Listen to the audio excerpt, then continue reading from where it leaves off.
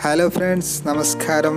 ഞാൻ ഇന്ന് എന്റെ നാടായ താമരശ്ശേരി ടൗണിന്റെ കുറച്ച് ഭാഗങ്ങളാണ് നിങ്ങളെ കാണിക്കാൻ പോകുന്നത്. അപ്പോൾ എല്ലാവർക്കും ലൈഫ് സ്റ്റോറിയുടെ മറ്റൊരു വീഡിയോയിലേക്ക് സ്വാഗതം.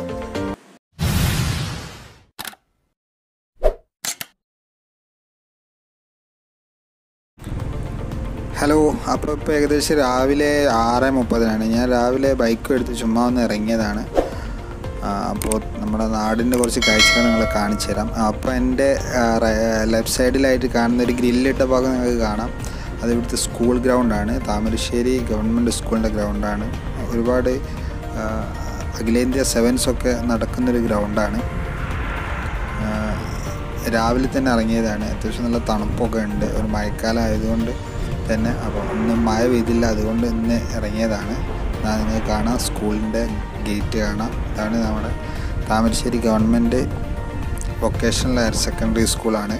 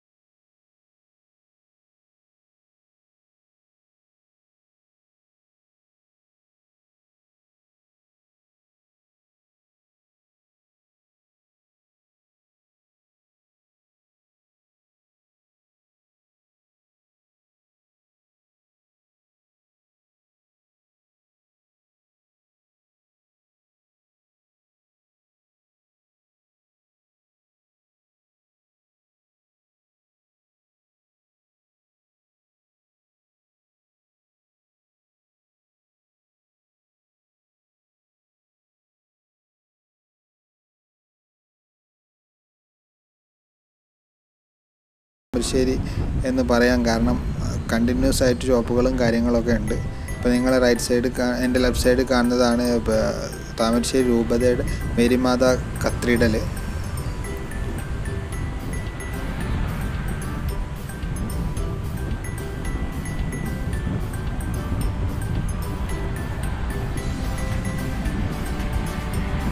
South Indian Bank കാണാം നിങ്ങൾക്ക്. അതുപോലെ മെയിനായിട്ട് താമരശ്ശേരി കൊടു കൊടുവള്ളിയെ സംബന്ധിച്ചിടത്തോളം താമരശ്ശേരി അടുത്ത ടൗണായ കൊടുവള്ളിയെ സംബന്ധിച്ചിടത്തോളം അവിടെ ഒരുപാട് ജ്വല്ലറികളാണുള്ളത്. പക്ഷേ താമരശ്ശേരി സംബന്ധിച്ചിടത്തോളം ഒരുപാട് ടെക്സ്റ്റൈൽസുകളുള്ള ഒരു നാടാണ്.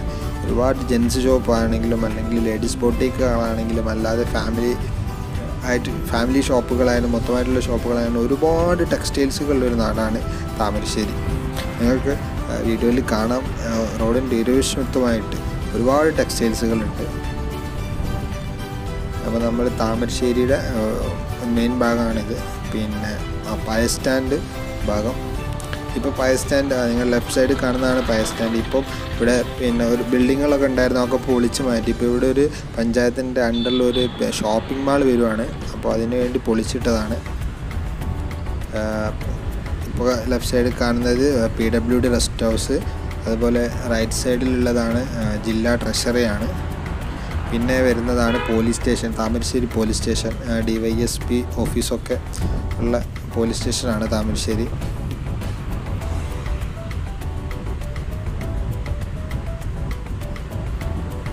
കടകളൊക്കെ അടഞ്ഞു കിടക്കുകയാണ് ഒന്നും തുറക്കാനായിട്ടില്ല. കോവിഡും കൂടെ ആയതുകൊണ്ട് പൊതുവെ രാവിലെ ആൾക്കാർ ഇറങ്ങുന്നത് കുറവാണ്. മിനി സിവിൽ സ്റ്റേഷനാണ് ലെഫ്റ്റ് സൈഡ് കാണുന്നത്.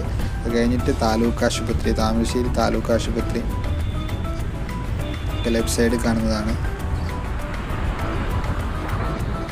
കോവിഡ് അല്ലാത്ത കാലത്ത് രാവിലെ സ്കൂൾ കുട്ടികളിലൊക്കെ ഒരു തിരക്കും പിന്നെ സ്കൂൾ ബസ്സുകളുടെ ഒരു തിരക്കും അങ്ങനെയൊക്കെ ഉണ്ടായിരുന്നു. പക്ഷേ ഇപ്പം അതില്ലാത്തത് കൊണ്ട് പൊതുവെ റോഡിലൊന്ന് കുറച്ച് തിരക്ക് കൂടാൻ ഏകദേശം എട്ട് ഒമ്പത് മണിക്കൊക്കെ ശേഷമാണ് ഒരുപാട് വണ്ടികൾ ജോലിക്ക് പോകുന്നവരും അതുപോലെ പിന്നെ ഷോപ്പുകളൊക്കെ ഓപ്പൺ ആകുന്ന സമയത്താണ് കുറച്ച് ആൾക്കാരുടെ എനക്കുണ്ടാകുക റൈറ്റ് സൈഡിൽ സ്കൂളുണ്ട് യു പി സ്കൂൾ അപ്പോൾ നമുക്ക് ജസ്റ്റ് പുതിയ സ്റ്റാൻഡും കൂടി ഒന്ന് കണ്ടിട്ട് ആ പുതിയ സ്റ്റാൻഡിന്റെ ഭാഗം കൂടി ഒന്ന് കവർ ചെയ്തിട്ട് വരാം.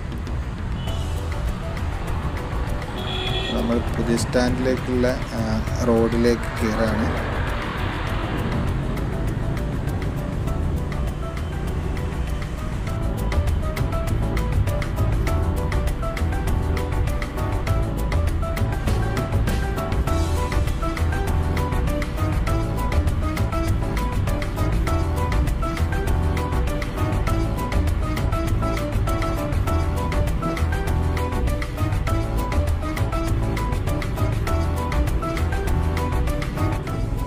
ശരിക്കും മെയിൻ റോഡിൽ മെയിൻ റോഡിൽ നിന്ന് നമ്മൾ ലെഫ്റ്റ് കയറി പിന്നെ പിന്നെ റൈറ്റ് അങ്ങനെയാണ് നമ്മൾ പുതിയ സ്റ്റാൻഡിലേക്ക് പോവുക. ഈ റോഡ് നേരെ പോയാൽ മാനപുരം ഓമശ്ശേരി ആ ഭാഗത്തേക്കുള്ള റോഡാണ് പിന്നെ കൊടുവള്ളി ഭാഗത്തേക്കൊക്കെ ചാടാം.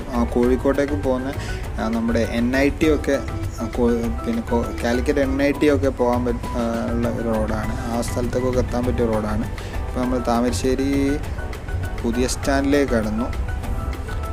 ഞാൻ ഉള്ളോട്ട് കയറുന്നില്ല അപ്പോൾ അപ്പോൾ അതിന്റെ ലെഫ്റ്റ് സൈഡ് പോയി ആ വണ്ടികളൊക്കെ പാർക്ക് ചെയ്യുന്ന അവിടെയാണ്. ജസ്റ്റ് പാസ് ചെയ്ത് പോവാം. ഇപ്പോൾ പഞ്ചായത്ത് ഓഫീസാണ് എന്റെ ലെഫ്റ്റ് സൈഡ് കാണുന്നത്. ഈ ഓട്ടോ സ്റ്റാൻഡിന്റെ പിറകിലായിട്ടുള്ളത് താമരശ്ശേരി പഞ്ചായത്ത് ഓഫീസാണ്. അപ്പോൾ നമ്മൾ ഇപ്പോൾ വീണ്ടും മെയിൻ റോഡിലേക്ക് തന്നെ കോഴിക്കോട് വയനാട് റോഡിലേക്ക് തന്നെ കിടക്കുകയാണ്.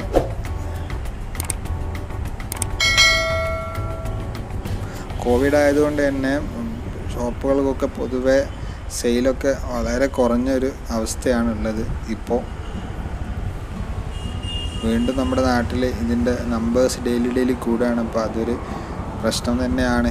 ഈ കച്ചവടക്കാരെ സംബന്ധിച്ചിടത്തോളം വലിയ റെന്റും കാര്യങ്ങളൊക്കെ കൊടുത്ത് നിൽക്കുന്ന കച്ചവടക്കാർക്ക് അത് റെന്റൊന്നും കൊടുക്കാൻ പറ്റാത്തൊരവസ്ഥയാണ് ഇപ്പോൾ ഉള്ളത്.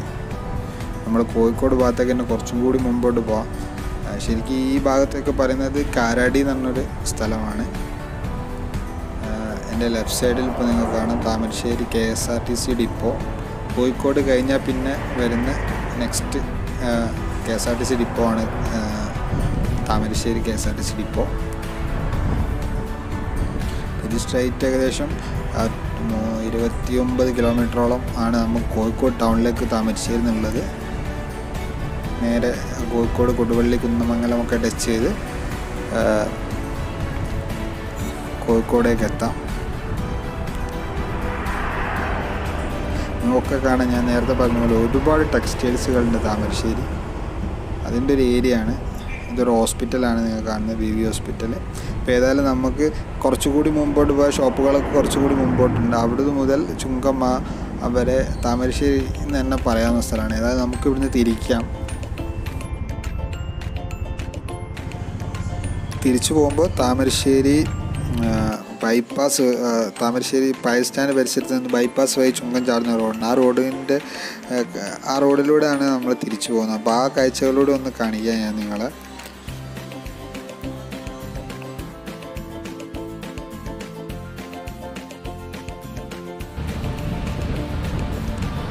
ശരിക്കും താമരശ്ശേരിക്ക് അങ്ങനെ ഒരു പേര് വന്നത് താഴ്മലശ്ശേരി എന്ന് എന്നത് ലോപിച്ച് താമരശ്ശേരി എന്നതാണ് ശരിക്കൊരു മലയുടെ അടിയിലുള്ള ഒരു സ്ഥലം എന്നതാണ്. ഒരു മലയോര പ്രദേശമാണ്. അപ്പോൾ അതിന്റെ അങ്ങനെയാണ് ഈ പേര് വന്നത്. നിങ്ങൾക്ക് കാണാം ദൂരേക്ക് നോക്കിയാൽ കാണാം. താമരശ്ശേരി ടൗണിൽ നോക്കുമ്പോൾ ഒക്കെ നമുക്ക് നല്ല മനോഹരമായ മലകൾ കാണാം മുന്നിലായിട്ട്. അപ്പോൾ ആ ഒരു ഇത് ലോപിച്ച് തായ്മലശ്ശേരി എന്നത് ലോപിച്ചിട്ടാണ് താമരശ്ശേരി എന്ന ഈ പേര് ഈ നാടിന് കിട്ടിയത്. പിന്നെ താമരശ്ശേരിയെക്കുറിച്ച് അറിയാത്ത ആൾക്കാർ ഇപ്പോൾ പൊതുവെ കുറവായിരിക്കും. കേരളത്തിലുടനീളം നമ്മുടെ പപ്പുച്ചേട്ടൻ നമ്മളെ ഞങ്ങളെ ഹിറ്റാക്കി മാറ്റിയ ഒരു സ്ഥലമാണ് താമരശ്ശേരി. നിങ്ങളിപ്പോൾ ലൈവ് വെബ്സൈറ്റ് കാണുന്നതാണ്. ഇവിടുത്തെ ഒരു സിറ്റിമ എന്ന് പറയും. ഇവിടെ ഉള്ള തിയേറ്ററൊക്കെ ഇവിടെ ഉള്ള തിയേറ്ററൊക്കെ അവിടെയാണ്.